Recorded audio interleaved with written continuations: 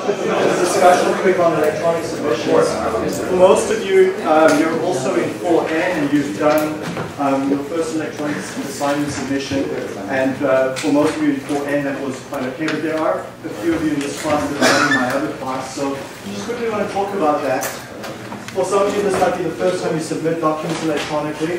For this course, our preference for the TA and myself is that you do so.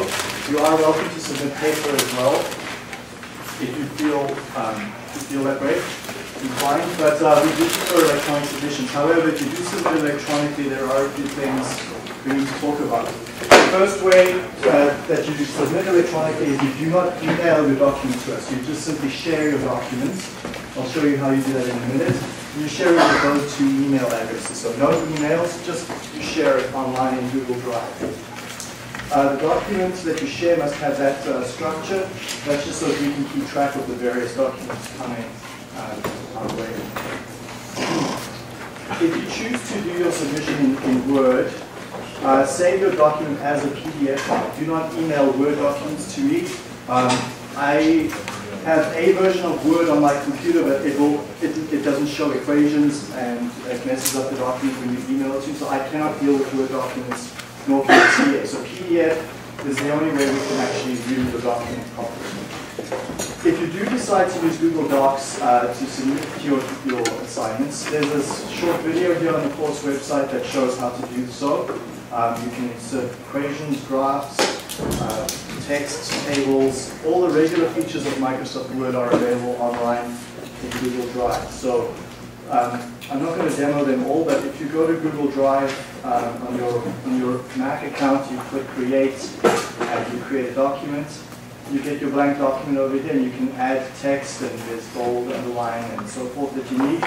There's tables that you can add. You can insert equations over here. You can insert figures, hyperlinks, page numbers, all the rest of the formatting that you're comfortable with uh, on um, in Microsoft Word. You can do online. The advantage of Google Drive is um, mainly for the fact that when you're collaborating with your other team members. So I recognize that many of you um, work asynchronously. In other words, you don't uh, work together face-to-face -face in the library. One person might be at home, another person elsewhere. And Google Drive allows you to edit your documents simultaneously. So uh, multiple uh, people in a group, that works really well. Um, you don't have to email documents back and forth and track the versioning. So Google Drive takes care of all the versioning over here. You can always see your revision history, who made which changes at what time. Um, and so that helps you keep track of that.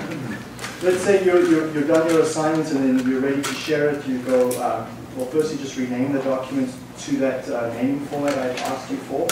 Uh, so 4M3-2013, etc and then uh, share that document with the TA and myself. So share and just enter the TA's email address and my email address there into that invitation field. So uh, and make sure that you leave it there with editing permissions. That allows the TA and myself to um, to comment on the document and, and do the grading electronically as well.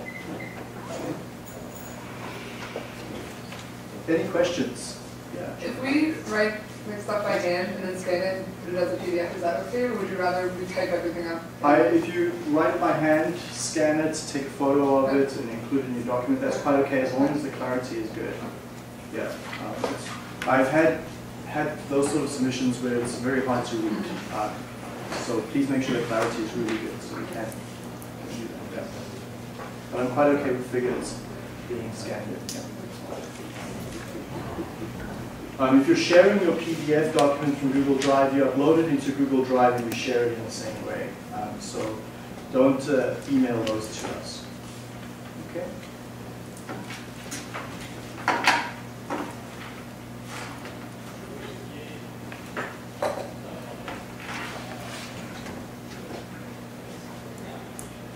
So let's, uh, let's go back to the example we were looking at in yesterday's class. So just to recap, we were um, we had shown several videos in yesterday's class on hindered settling. We had shown videos on flocculation, and the key point from yesterday's material is that from a theoretical perspective, we cannot predict the rate at which particles settle. So There was a question as well related to that is what's uh, the difference between terminal settling velocity and this interface heights velocity? Well, they're, they're not the same things. We're, in our cases, consider, considering a stagnant fluid. So the fluid around my particle or particles is stagnant, there's no velocity. So the, the velocity at which this particle settles is the velocity we're dealing with here in this In hindered settling, or when you've got a high concentration of particles, that velocity is the velocity with which the interface between the solids in a high concentration over here and the supernatant liquid above it. So this is the supernatant, the clearer liquid above it. We're interested in that interface and how fast that interface settles. Now recognize that this supernatant liquid is mostly free of solids, but there's no guarantee. There's very often cloudy supernatants that we will see, especially when you've very, very fine particles in suspension. Uh, those very fine particles will almost never settle because they're, they're kept in suspension there by Brownian motion. So we will almost never see a totally clear supernatant. One way to actually try and clarify that supernatant as best we can is by adding flocculant. And the flocculant creates larger particle size or agglomerates that then will settle out. So we can clarify our supernatant by the use of flocculants to get those really, really small particle sizes out. So that was what the MIT video um, was showing yesterday. It was on wastewater treatment. We want to get those viruses and bacteria, very small particle size in the, in the single digit micrometers um, and double digit micrometer particle size, get those out of suspension. If you calculate the terminal settling velocity for something that's in the order of 10, 20 micrometers with very low density, you'll see that the settling velocity is like millimeters per, per day.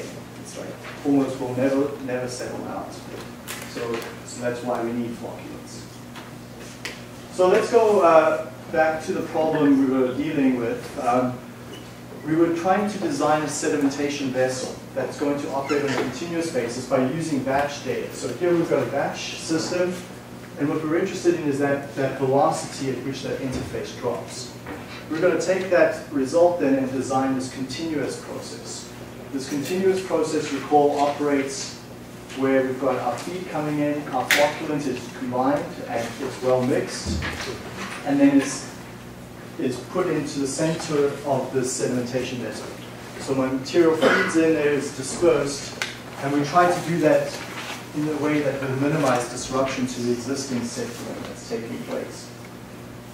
That, those solids then settle out along the basin, and our assumption is that those solids are distributed across that area though in practice there will obviously be some non-uniformity of that. We cannot get all our solids evenly distributed. But what we do know for sure is that in this cross-sectional area indicated here with the red dashed line, that all our solids will pass through that interface and then ultimately leave through the underflow.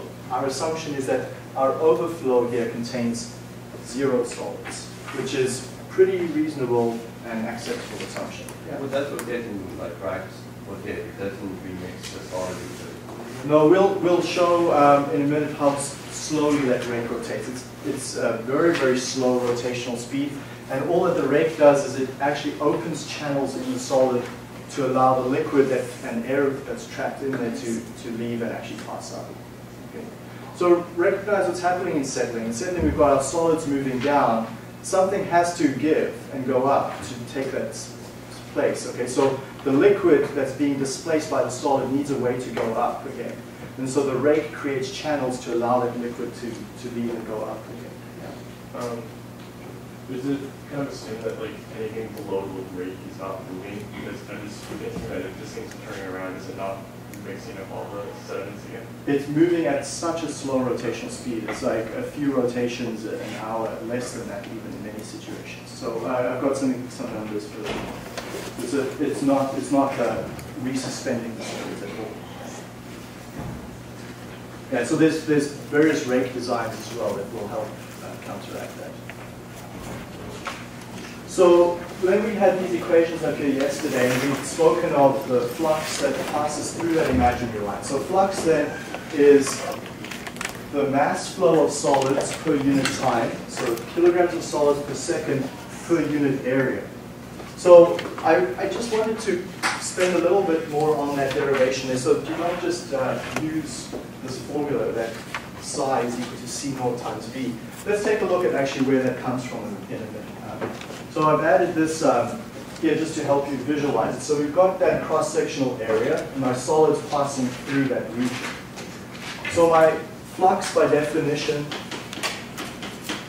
you see this over and over in engineering systems, flow of a various of various types. So energy flux, mass flux. In this case, that's what we're looking at is the flow of mass per unit area. And if we look at the flow of the solids, what is the mass flow? Well, that's easy one to get. It's equal to Q times C0. Okay, divided by the area A. So Q times C0, Q is my volumetric flow rate coming in, meters cubed of feet per minute, coming in at the center of that, that vessel. So Q would be the flow rate coming in the center point over here. So that's the combined flocculant and feed rate in uh, meters cubed per unit time. C naught then is the concentration of the solids in that feed. So we can take a sample of that and calculate the mass of solids per meter cubed. Two very easy to obtain numbers, two numbers that we'll always have available to us when we design the system. So that's going to give me my flow of mass because I'm assuming all my mass will pass through that uh, hypothetical cross-sectional area. Now, let's look back in our fluid flow course. If I take flow in a pipe or in any, um, any cross-sectional area, I've got a flow rate Q of cross-sectional area A. The velocity of that is Q over A. So meters cubed per unit time divided by area. So if we do a unit balance here, meters cubed per second divided by meters squared, I'm going to get velocity units, meters per second. So that velocity v is q over a, so if I sub in that over here, I can get v c naught or c naught v, which is what I use in the slide. So don't just, uh, just use the formula, understand actually that where that simplification comes from. so that's over here in this um, slide yesterday, we had this stated over here that the flux is the concentration of solids multiplied by the velocity, but the derivation is actually, there's another step or two. Now, when we design these units, we're interested, obviously, in the cross-sectional area. That's our, our end goal here. So, yesterday we had this slide up. So area is QC naught over psi. That's a simple rearrangement of this formula over here. So the area Q, which I know, C naught, which I know, divided by flux, which I don't know.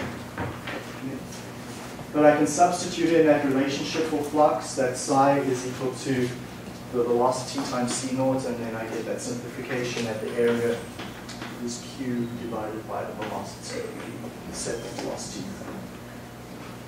And so then we went on to this problem yesterday, and we had, um, we didn't really actually solve it numerically. We simply had time in the class to simply plan our approach and to define what we know and what we don't know. So we, we knew the volumetric flow rate, Q, is 2,100 liters per minute, or 2.1 meters cubed per minute.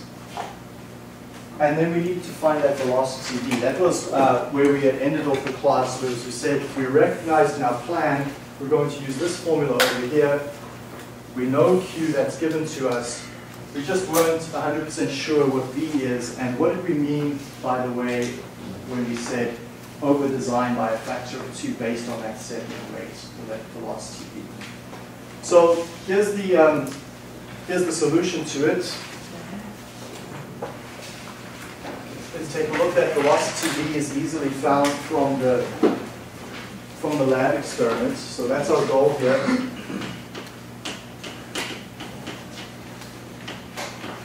So draw a picture always if you're, if you're unclear what's uh, going on. We've got a, a graduated cylinder, 300 millimeters tall.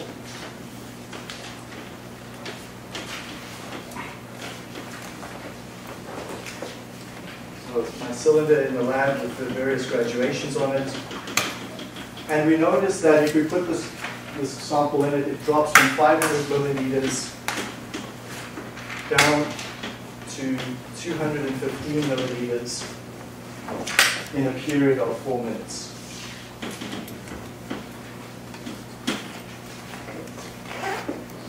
But that's not giving me a, a settling velocity, that's simply showing me the volume on the cylinder changing in a four minute period.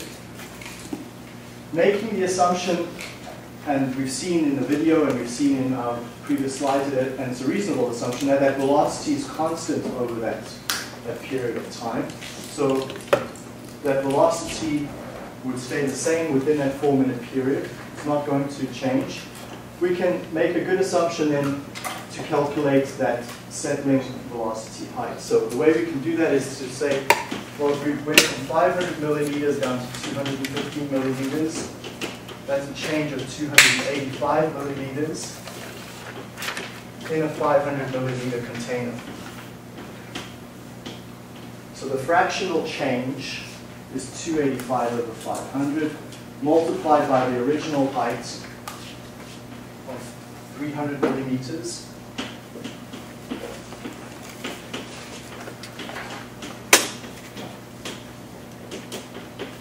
Meant that I dropped 171 millimeters in a four minute period. So from that I can get my settling velocity of 42.8 millimeters per minute. Making that key assumption that it's constant velocity during that four minute period. So explain what you just did?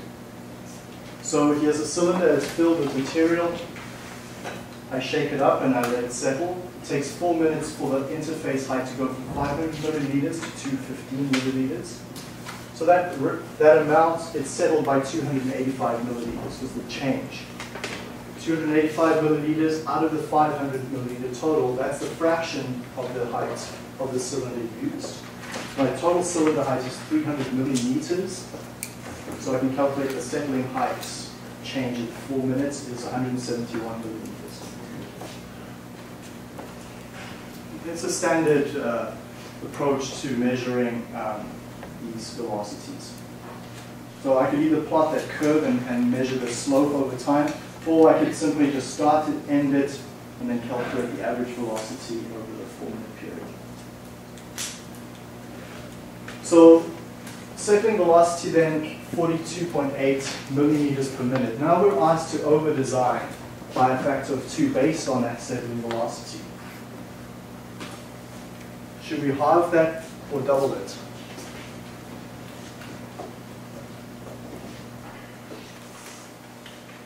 Well, the answer's up there. Yeah, we should halve it. I think you had mentioned that yesterday as well. So it, we should halve the velocity, right? If we, uh, we're saying then that it settles slower than what it actually settles at. So we're going to over-design the unit to accommodate for lower settling velocities, or slower settling velocities, I say. So take that 42.8 millimeters per minute, halve it, and then use that as my velocity instead. So instead of using the true velocity of 42, use a, a velocity of about 21 and something. Okay? And then if I take that uh, velocity, that modified velocity, and substitute it in the formula, the cross-sectional area is Q over V. So use this uh, Q is our given flow rate, and then call this VOD for over-designed velocity. It's um, half, half the original velocity. That gets me 98 meters squared of area required. And I add an additional seven to it to account for the center of the basin, which has that uh, sediment region. So we, we spoke a bit about this yesterday. Let's just recap that. There's my sedimentation vessel viewed from the top. Um, it has a certain diameter d, which I'm trying to calculate. This area of settling, I've just computed 98 meters squared is this shaded region. I add an additional 7 meters squared to accommodate for that inner settling region. So that's, that's quite common. Our rake goes through there, the drive shaft for the rake. Um, various access points to, uh, to the unit go through that central area. And it's also a part that just allows the turbulence to settle a bit. So there's often a weir around here to isolate the feed from the rest of the sedimentation vessel to prevent the turbulent feed coming in and disturbing the rest of the sediment. Okay, so that takes up seven meters squared, so we have to add that onto our area to get my total area required. And then from that, I can go calculate the diameter of the vessel using straightforward. Just explain again why you have the settlement rate? Why I have it? Okay, sure. So the true settling velocity is 42 millimeters per minute. Okay, so that's whatever rate that is. Now, if I go ahead and design my unit based on that settling velocity, I'm going to get a certain area. But what we're saying is that let's assume that I'm doing this experiment in the lab. What if that sample isn't quite representative?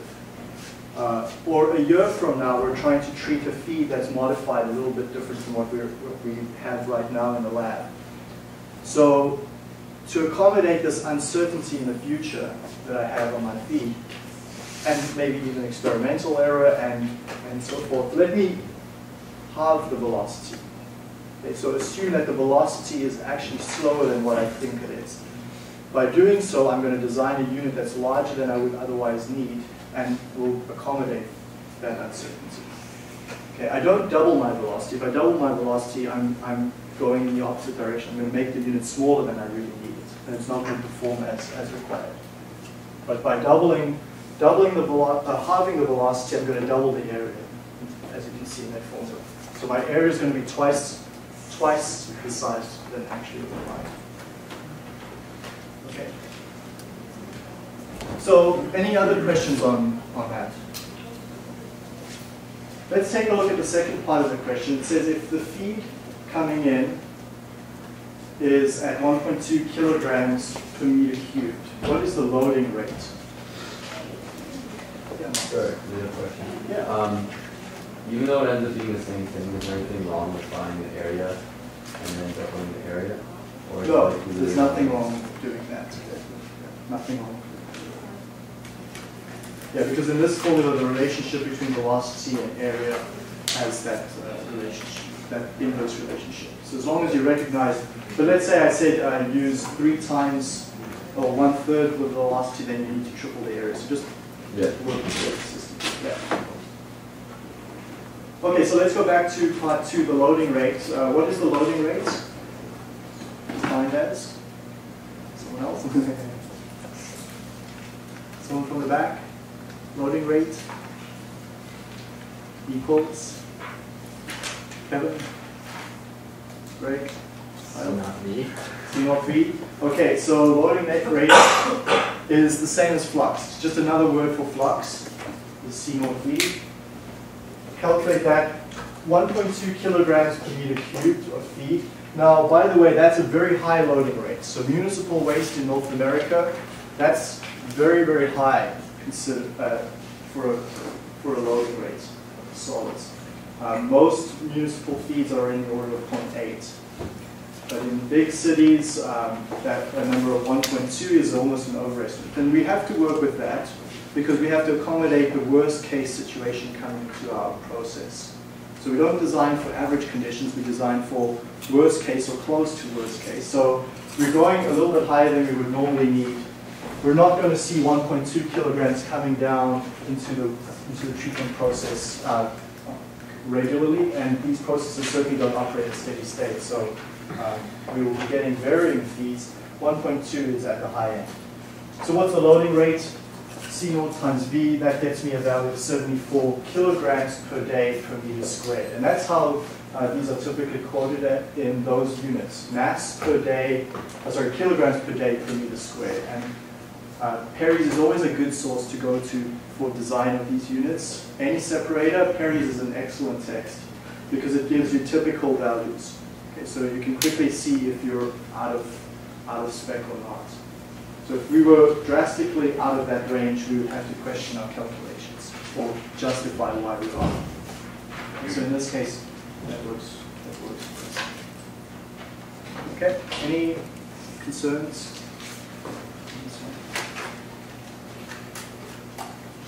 Okay, so let's take a look then at some other um, sedimentation vessels here. The, when we design this, we, we may have doubts on how big they should be, how, how wide and what depth. How long should the particles remain in the vessel? So the residence time. So if we look at Perry's, we can see that sedimentation vessels are usually rectangular or circular. And you would, there's, a, there's advantages and disadvantages to either one. Uh, rectangular units, you will feed in at one end and the material flows and is taken off at the other end. Okay, so there's, there's, it's quite easy to partition it in zones. So your effluent, your clear, liquid, and solid is taken off at the other end from the feeding. The main concern that you want with any sedimentation vessel, circular or rectangular, is that you have no short circuiting. You don't want the ability for your solids to be able to leave in your clear overflow. That's the main criteria when we're designing that, is to look at the flow patterns. Um, because usually our concern from a sedimentation vessel is what we're desiring is that clear overflow liquid. The solids are often not of interest. It's the clear supernatant that's of interest. So we don't want solids contaminating that stream, so no short circuiting. Okay. So we, we've spoken a bit about this uh, yesterday and today. We want even distribution and minimal disruption to our fluids. Uh, we don't want to create currents either through our rake or um, through our way that we feed the material in. So here's a, here's a conceptual diagram of the rectangular settling vessel. We have our inlet zone, and then our solids come in through that pipe Q, and they're assumed to distribute through that inlet zone and start settling. They'll settle down with that velocity v that we've calculated from our lab experiments. But there's also a horizontal velocity. The fluid has to flow from left to right, so there's a, there's a definite uh, horizontal velocity. And so the sum of those two velocities gets me an angular direction coming down. And our aim is that, that those particles reach the sludge zone, the solids reach the sludge zone before they reach the outlet. Okay. So any solids that have not touched the sludge zone are assumed to then leave out in the overflow. I haven't drawn it here, but it's, uh, it's implicit then that there would be a, a, a, mechanism to remove those solids off the bottom and, and let that process operate continuously.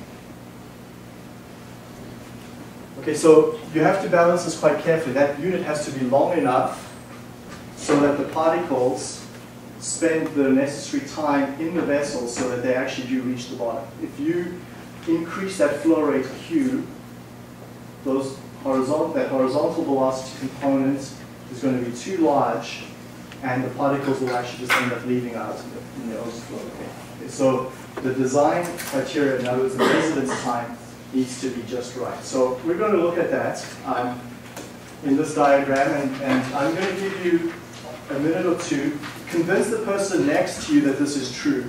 that if I double that tank depth, that particle is still going to settle at exactly the same distance across here. So whether I have a deep tank or a narrower tank, doesn't matter.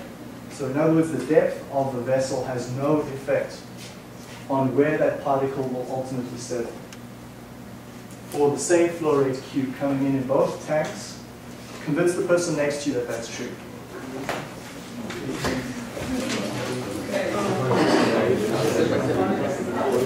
And even better is you can prove it to the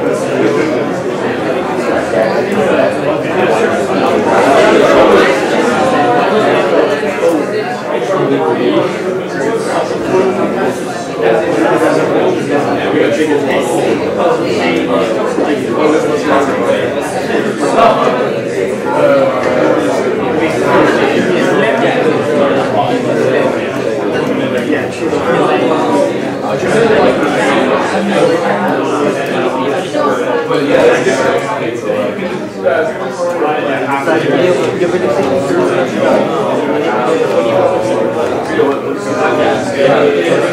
Yeah.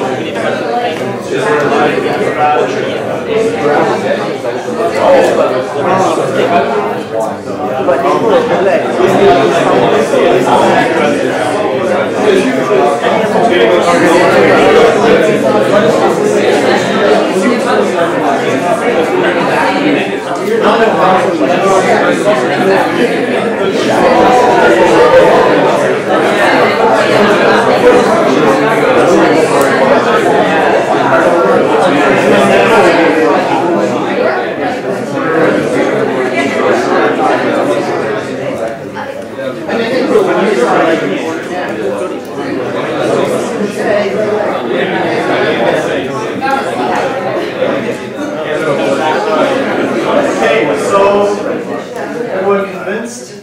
Yeah. Yeah? So I don't have to teach you, explain why it's so? Kevin? In this case, your cross-sectional area is a cross-section this way because your flow is this way. The cross-sectional area is increasing, by- or whatever, in this case decreasing. Right. So if Q is AV, then V has to decrease or increase, I mean, proportionally. Right. Okay, so the key insight here is that the cross-sectional area is this is this uh, interface. So the flux of the material is passing through a cross-sectional area in this direction. The first instance, that cross-sectional area is twice the cross-sectional area over here. That implies the velocity in the top diagram, the velocity in the horizontal direction is double the horizontal velocity in this direction, on this in the second second. So material at the top is the horizontal velocity, I said that wrong way around. The horizontal velocity in the top vessel is half the horizontal velocity in the, the bottom one. Okay. So because this material is flowing at a slower rate in the horizontal direction, it will still settle out at exactly the same point in time as this one.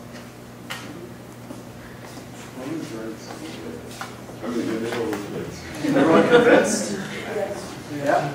Okay, so that's going to be in the assignment. Now if we look at a circular sedimentation vessel, we have our material flowing in at the center and radiating outwards. So my- solids and my liquid coming in that inlet zone. Here's my sludge zone at the bottom. Now these are normally at an angle so we can efficiently collect our sludge, but let's, uh, let's just take a look at this hypothetical case. What happens is the velocity in the vertical direction is whatever the settling velocity is. In the horizontal direction though, that velocity component changes depending on where you are in the vessel. So your cross-sectional radius, so there's my vessel, here's my entry point. Those cross-sectional areas get progressively larger and larger as you're going from the center to the periphery, so that velocity in the horizontal direction changes depending on where you are along this distance. So the horizontal velocity gets slower and slower and slower as you go along towards the periphery. And so your fluid particles take this arced shape through the. Yeah. How would the inlet pipe work? Would it so that water, like the, the fuel streams flowing out of that or? That would be one design. So there's a, there's there's there's many alternatives. Uh, what we're looking at here is sort of like an idealization of it. Uh, so the assumption is that all my solids come in the middle and they sort of radiate outwards like that. But most designs, uh, the feed is at the top in the middle, and then still follows those same. So when like, so people go all the way to the bottom kind of thing? like- No, that, yeah. So velocity in the horizontal direction changes with location. The vertical velocity downwards is the same no matter where you are because that velocity is only affected due to the gravitational force, okay, which is constant as you as the particle moves through. So again, here the key key requirement is to design that unit so that those particles have sufficient residence time to reach the sludge zone. So needs to be long enough for the particle to make it to the sludge zone before it reaches the outside edge. Otherwise, this is going to be taken out in the uh, supernatant or the overflow. Okay, is that um, mostly clear for people? So, what is a typical residence time in a sedimentation vessel? A couple of hours? Is it hours, days? Order of magnitude? Yeah. I would be how, uh, what you're separating the size of particle and what industry. Yeah, definitely dependent on particle size. Absolutely. So, the in the sugar video, anyone recall what the sedimentation time was in those vessels? The voiceover, they had said two hours of particles spent in those vessels. And that's a, that's a typical figure for a residence time. But obviously, if you're dealing with very finely uh, distributed, uh, fine particle sizes or small particle sizes, you say that's, you're going to need a longer time to accommodate for that. But uh, two hours is a reasonable um, residence time. Some other rules of thumb um, are as follows. Recognize that our feed flow Q and the feed solids concentration C naught, they're, they're always known when we're designing these vessels. And one of the key conditions that we're designing for is to calculate, in many cases, the solids percentage in the underflow. Okay, so the solids leaving in the underflow we're assuming, remember, all the solids leaving in the underflow, but those solids are going to be diluted with some amount of fluid. That percentage of solids to fluid leaving in the underflow is, is of importance to us. So if we look back at our uh, uh, hypothetical diagram here, here's my flow rate Q that I know, C naught that I know, but leaving out here at the bottom is some, well, it's all my solids, but there's also liquid. And it's the percent solids in that stream that's, that's important. It's important because we have to be able to actually remove those solids. Right? It's not 100% solid leaving it. There's got to be liquid in there so that we can actually pump this out as a slurry. And then the type of, sorry, the percentage solids that's there is going to affect the, our choice of pump, whether we use a centrifugal pump or a diaphragm pump. So for high solids concentrations, we'll use a diaphragm pump. For low solids concentrations, we can uh, get away with centrifugal pumps. So we, that, that is an important criteria as well, is what's the nature of that material leaving out there. Another important criteria is uh, the surface overflow rate, so the volume per day per meter squared. And so those are typical figures for a primary vessel and a secondary vessel um, would be those sort of volumetric flow rates. So 40 meters cubed for a, uh, for a large primary unit and then 12 meters cubed per day per meter squared cross-sectional area for a secondary. So again, just good rules of thumb. Another rule of thumb is that sedimentation vessels are usually around 3 meters in depth. But um, again, that's um, that's obviously there's many many variations on that, but that's a good a good starting point. If you're designing your vessel, remember so far our only design criteria has been the area. We've not said anything about the depth. So we've designed for this cross-sectional area, the depth of that vessel um, is also an important criteria because that's going to affect my residence time. Once A, the cross-sectional area is set, then I need to calculate D. I know what flow rate I'm feeding it at Q, and those numbers then will I can use to solve for my residence time, tau. So tau is equal to volume divided by Q. The volume of my vessel divided by Q is going to affect my residence time, tau, and that, um, that needs to be a number that's typically in the order of two hours for, most units, that's true. Some other rules of thumb, uh, minimum diameters for circular tanks are around six meters, and length to width ratios of five to one.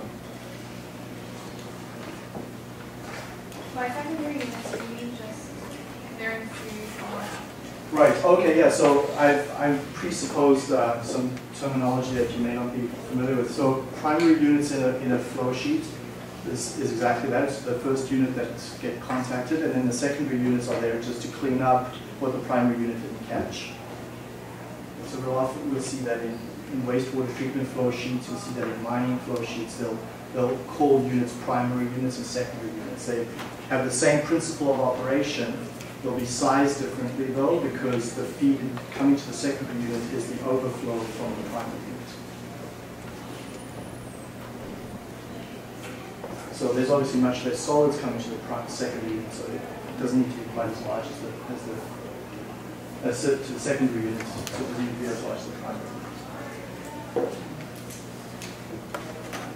Um, so two hour retention time, we sometimes we'll accommodate for longer times for lighter solids or in uh, winter times uh, when viscosities are slightly different and, and densities might change a little bit, but that uh, not, doesn't modify things too much.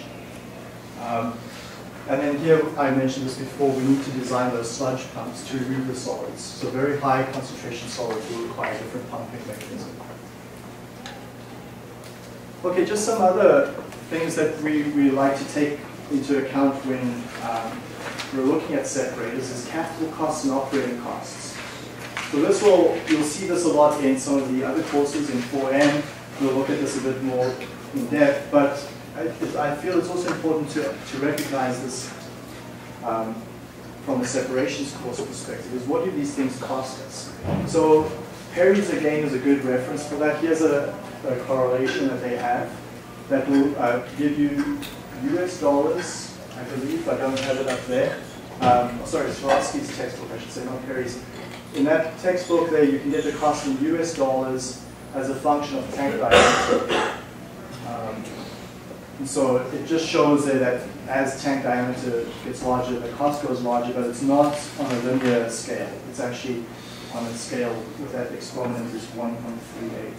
So it's, it's greater than linear, which would be expected. So really large tanks are going to cost a whole lot more than, um, than a smaller tank. And it doesn't scale linearly. Uh, installation costs will be sometimes four times the actual equipment cost. If you look at, uh, there's, a, there's a good number of photos on Flickr and YouTube videos on how these units get built. You can see the labor intensity with building a sedimentation vessel is quite phenomenal. There's a lot of land that needs to be removed, unit built, rebar laid, and then the, the land uh, that was taken out has to be backfilled again. So all of that uh, takes up a lot of money too. Now, what's interesting from is an operating cost perspective is how little these units cost to operate. There's very, very low overheads on it. So very little electrical costs for that rake. Uh, that rake moves extremely slowly, 9 meters per minute um, on the peripheral tip. There's a very low power consumption, 12 kilowatts is no, there's almost no electricity to run these things. Very low operator costs, there's not, not a whole lot of that gets done there. Um, but the huge quantity of money is spent on the flocculant. So in this case, the chemical costs, the, the mass separating agent that gets added is what's costing us. So that's true for many cases. When we have an MSA, that's almost always going to be the main is that separating agent. In this case, there's no electrical, or almost no electrical costs.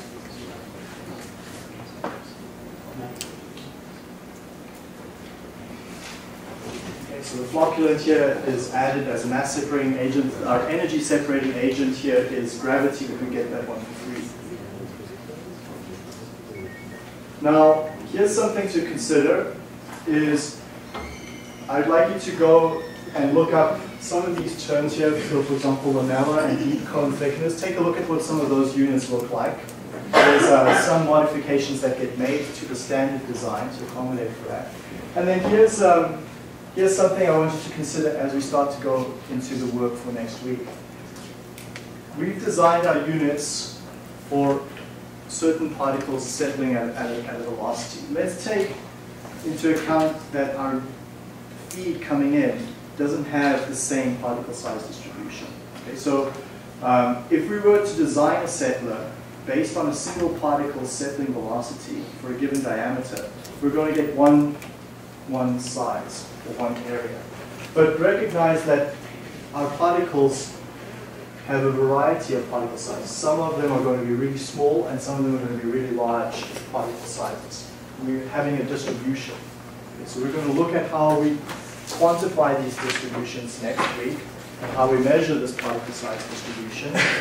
But then recognize that our system needs to work for the entire range of particle sizes that we expect. So it needs to work for the smallest of particles as well as the largest particles up here. Okay, so this is really not where we're interested in. Because we know that if our small particles settle, our larger particles are going to settle faster than those. So when we design these units, we're interested in designing for down here, for the smallest particle sizes. So just, uh, we'll, we'll study these graphs next week and what this means, what this y-axis percentage means, what the horizontal axis is intuitive as micrometers. And then, uh, just before we finish up, I'll post uh, this question on the course website. I don't think it's in the notes. I'll put this on the, on the course website under the practice section and leave that for you. There's the answers for it. But I, uh, part one is easy. We've done that in our previous example. But question part two and three are quite different. So I'll give those a go.